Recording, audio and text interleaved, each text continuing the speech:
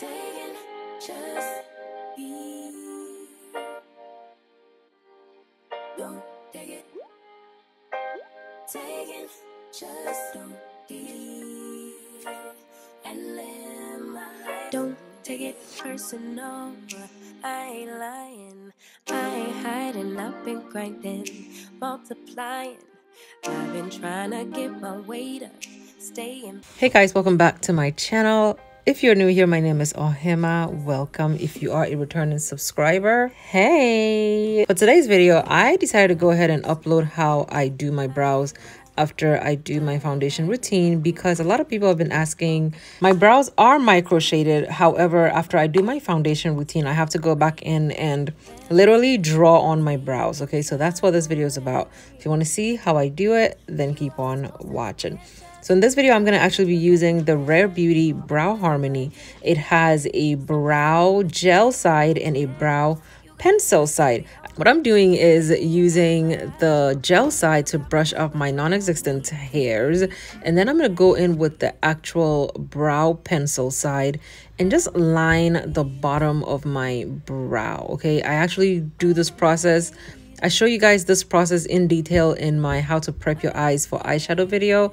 I will link that down below so you can see it as well. But you know, I just draw the bottom line and then I go in with the e.l.f. Camo Concealer, the shade that closely matches to my skin tone. If not, then I use the one that is one shade above that. That way my brows will pop.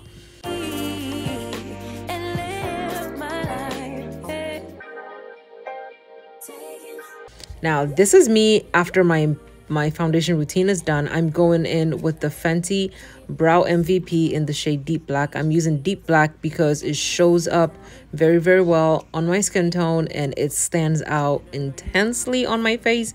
Now, if I use the shade um, Soft Black, that will show up very mildly and anything after that just won't show on my face, okay? So this is how I draw it on just keep watching i usually follow the line of my micro shading because i can see it ever so faintly through my makeup and i just follow that line and it just makes it so easy for me to just go ahead and draw in my brows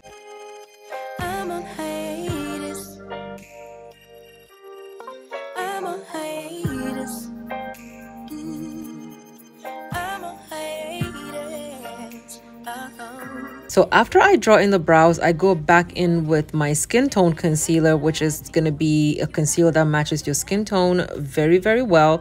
I like using the, the e.l.f. Camo Concealer because it's a mattifying concealer and I don't have to worry about setting it, okay? And I just go ahead, clean up again the already drawn in brows and this is the finished look if you use a concealer that matches your skin tone you don't have to worry about the concealer blending into your skin or whatever. If you use a really really light concealer that's when you have to worry about blending the concealer in and all that good stuff okay?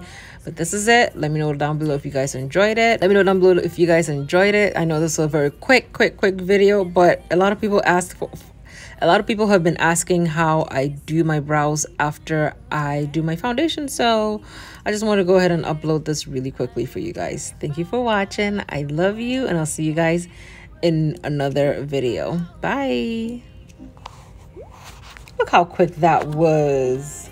Quick.